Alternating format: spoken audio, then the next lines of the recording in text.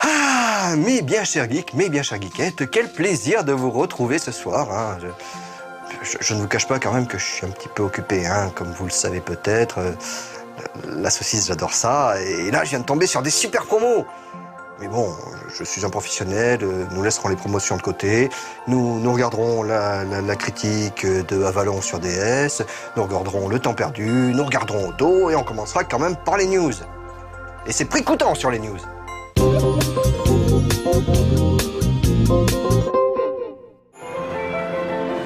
Après des débuts difficiles, la PlayStation 3 continue sa marche en avant. Au Japon, la console de Sony vient de dépasser la barre des 5 millions d'exemplaires écoulés. La firme japonaise peut au passage dire merci aux équipes de Square Enix, car FF13 n'est plus très loin des 2 millions de jeux vendus, uniquement dans l'archipel. Pour en revenir aux consoles, la PS3 explose de façon magistrale, la 360 sur son territoire. Et en même temps, qui en doutait? À l'échelle mondiale, cette tendance s'atténue forcément à cause des États-Unis, terre de Microsoft. Mais surtout, elle reste très, mais alors très loin de la Wii en termes de vente, quel que soit le territoire que l'on observe. Et ce n'est pas le PlayStation Move qui risque d'y changer quelque chose.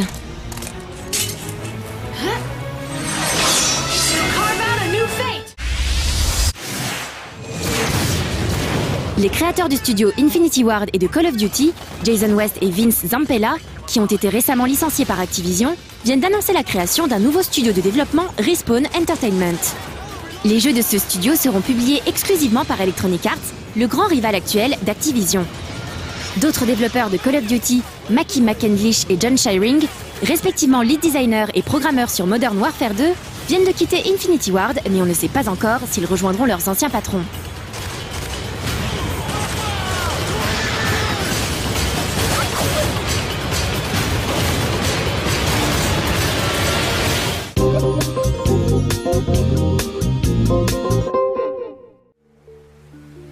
À l'image des Sakura, les MMO free-to-play fleurissent en ce début de printemps. On en parlait lundi dernier dans les news à l'occasion de la sortie de la troisième extension de Rune of Magic, et voici que l'on évoque aujourd'hui Grande Fantasia. Allez, on vous l'accorde, le nom sans la traduction rapide. Tout comme le design global du jeu semble avoir été confié à un stagiaire. Mais ne soyons pas trop durs car il ne s'agit ici que de trailer.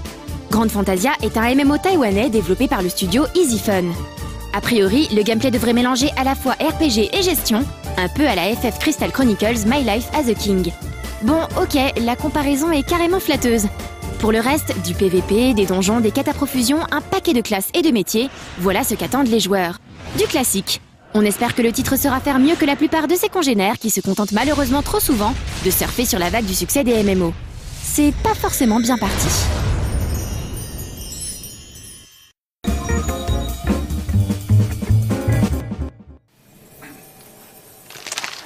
Excusez-moi. Euh, oui, je suis un peu absorbé. Mais, vous savez pas, pendant les news, j'ai regardé les, promotions des, autres, des autres magasins et en fait, j'ai trouvé un prix encore plus intéressant. Oh, je suis super content. Hein.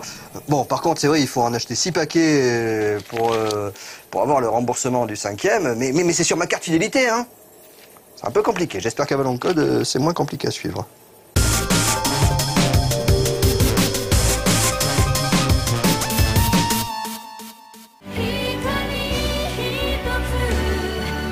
Sorti en novembre 2008 au Japon, Avalon Code se présente comme un action RPG au concept assez novateur.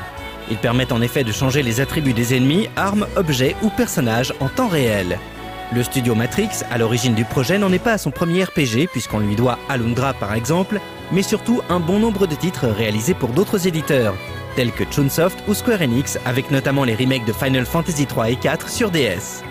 Mais si le concept d'Avalon a l'air très alléchant sur le papier, sa réalisation sous forme de jeu laisse perplexe.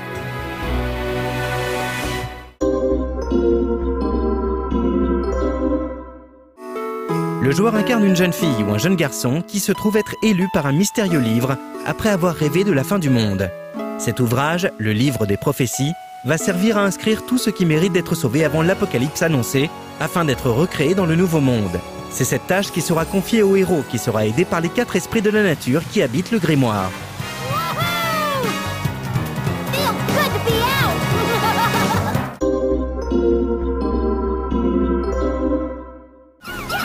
Avalon Code se présente comme un action RPG où les combats se déroulent en temps réel.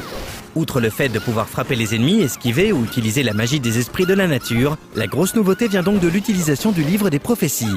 Celui-ci se situe sur l'écran tactile et il faut y recourir dans toutes les situations. Il contient en effet tout ce que le joueur rencontre lors de sa quête, mais surtout tout ce qu'il aura scanné. Chaque objet digne d'intérêt, mais aussi chaque monstre ou personnage, doit être scanné par le joueur. Ce faisant, il pourra examiner ses attributs appelés des codes et les modifier. Il sera ainsi possible de retirer les codes de certains monstres afin de les rendre vulnérables ou au contraire d'en rajouter sur ses armes pour obtenir une épée de feu. Le principe est le même pour les personnages. Le joueur peut ainsi agir sur leur état et il faudra notamment guérir les personnes malades en changeant leur code. Si ce système s'utilise sans mal dans les phases d'exploration, il en est en revanche beaucoup moins pratique en combat, puisque l'on utilise déjà la croix et les boutons pour jouer. Il faudra donc vite sortir son stylet afin de déplacer les codes, ce qui n'est vraiment pas pratique du tout. En plus, ces derniers étant assez petits, il est difficile de les déplacer simplement avec l'ongle du pouce, même s'il est long. D'autre part, le nombre de codes que l'on peut transporter est limité à 4.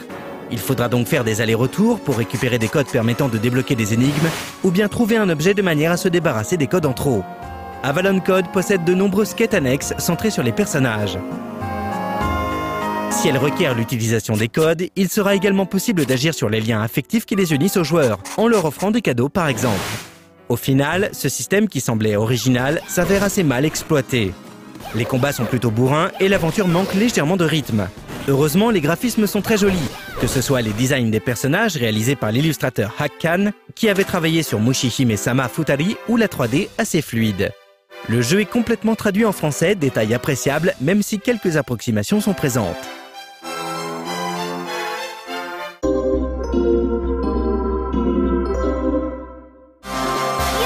Avalon Code fait partie de ces jeux qui possèdent des idées de départ séduisantes, mais dont la mise en application s'avère difficile, probablement faute de temps et d'argent. Il est vraiment dommage que la gestion des menus soit si peu ergonomique lors des combats, car le concept est vraiment intéressant. D'autant plus que l'on peut influer sur le déroulement du scénario en fonction de ses choix. Un titre donc qui s'adresse aux joueurs désireux de mettre la main sur tous les RPG qui sortent, ou à ceux qui veulent essayer quelque chose d'un peu différent.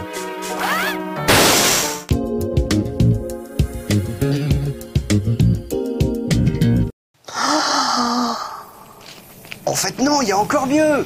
Dans ce magasin, pour, pour 3 paquets de saucisses achetés, il y a 20% de remise immédiate en caisse et des points sur ma carte. Oh, ça a l'air bien aussi.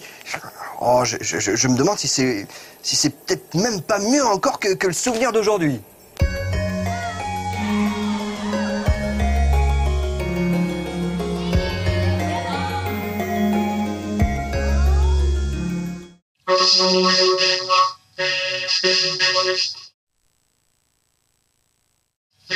小学生とダダをかけられたんですが、えー、内視鏡で宣言してやってたんですが、実は僕が考えてみると、それはもう政治心ではなくてですね、あったもんでありました。それをずっと知らずにやっていたというのが、えー、私自身職です。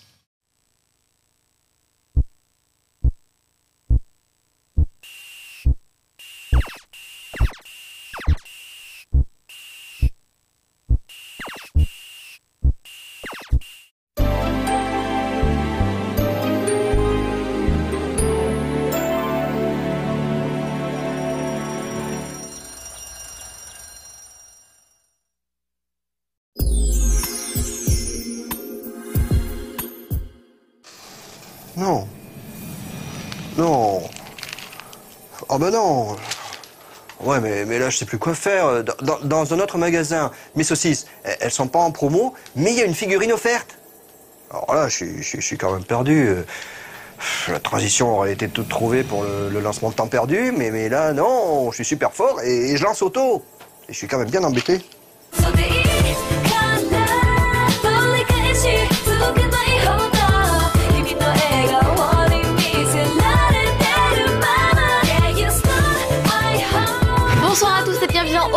Aujourd'hui nous sommes le 15 avril et c'est très important. Ça veut dire que mon exemplaire du nouvel album de Hamasaki Ayumi, Rock'n'Roll Circus, est sûrement déjà dans un avion en train d'effectuer ce pèlerinage qui le mènera jusqu'à ma boîte aux lettres. Et il me tarde de l'avoir entre mes mains. Par contre, je me suis réveillée trop tard pour me procurer l'édition ultra limitée. Tant pis, de toute façon, euh, je suis pauvre alors. Ce soir, Pick Up, My Boom et les releases. This made. On commence les releases avec le nouvel album de Kokia qui est sorti la semaine dernière. Comme je vous l'avais déjà dit, Real World est un album qui reflète les expériences de l'artiste à travers ses nombreux voyages et surtout celui qu'elle a fait dans le désert tunisien.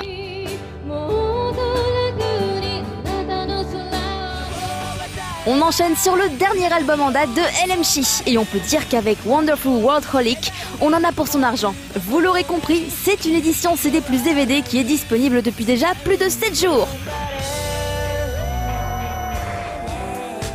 On continue avec une belle surprise pour les fans de Baguette Bardot. Oui, la sublime et sexy idole de Josodio sort son best en France. En même temps, c'est le pays de la baguette. Et pour vous surprendre encore plus, il est sorti aujourd'hui. Et elle nous a gâtés avec une magnifique édition CD plus DVD.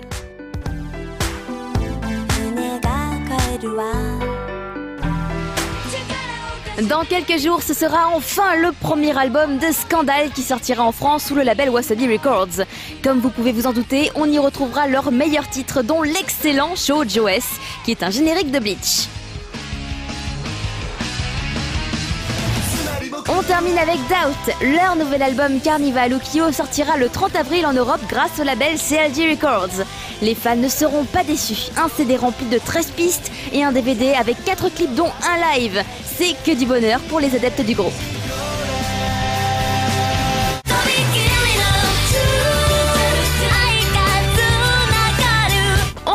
Le pick-up, donc le single sélectionné parmi les sorties de la semaine, avec Fushitenna Girl, Natural Niko Ishite, le nouveau double side single des idoles les plus électro de la scène nippone, Perfume. Bizarrement, c'est la piste 2, Natural Niko Ishite, qui est mise en avant pour la promo avec diffusion du clip et surtout tie-up pour des instituts de beauté. Et c'est vrai qu'elles sont jolies, les membres de Perfume. Musicalement, ça ressemble un peu à tout ce qu'elles ont déjà fait, mais qu'est-ce que c'est bon C'est avec plaisir que je me fais une overdose d'électropop de Perfume. Et je ne sais pas ce que je donnerais pour avoir le clip à l'antenne, il est trop bien, il est énorme. En plus, leur chorégraphie, elle est super sympa aussi. Alors pour se consoler, un petit extrait.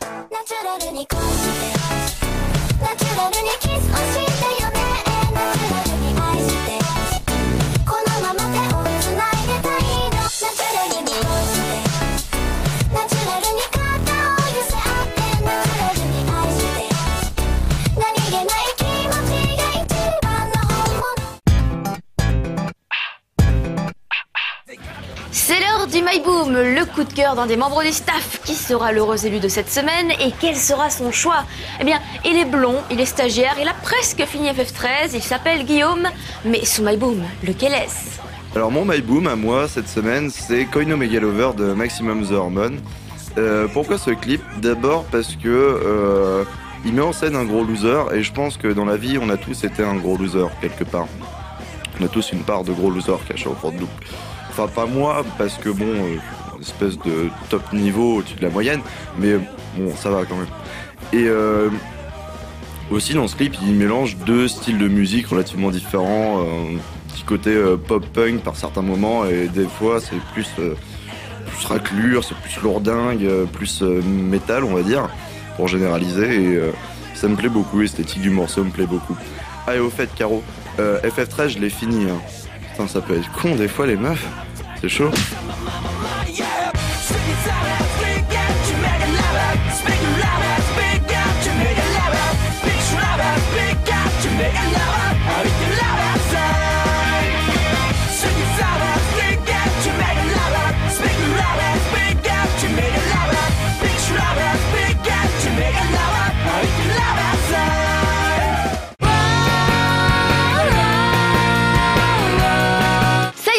L'émission. Il est temps maintenant de parler des nouveautés qui entreront en rotation juste après le J-Top samedi soir. Sur notre antenne, nous aurons entre autres cette semaine Brahman avec Gakko. Donc Brahman, un groupe de rock très sympathique. On aime tous à nos lives.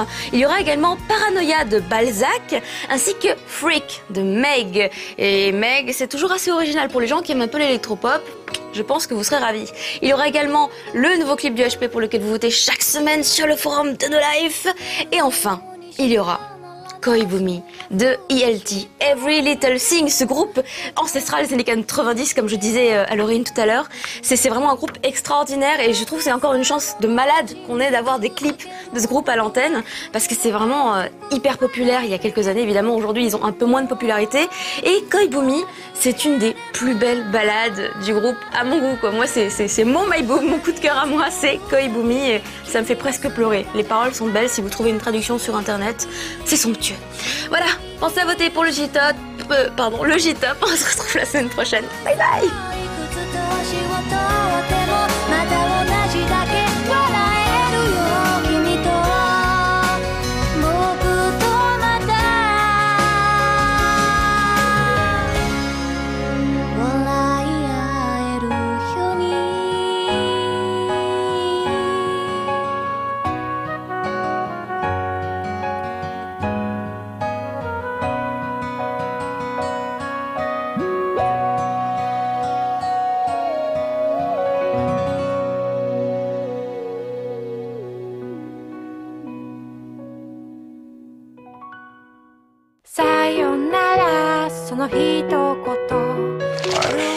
Bah, Alex, je, suis super embêté quand même.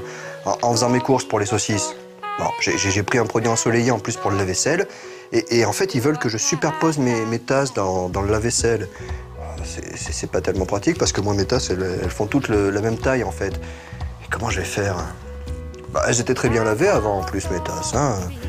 Ça, me rappelle les pubs pour les lessives dans les années 80, tu sais, les, les lessives qui lavaient plus blanc que blanc, euh, celles où tu devais faire un nœud comme ça. Pourtant, je leur avais dit que ça servait à rien. Bon, sans pas écouter.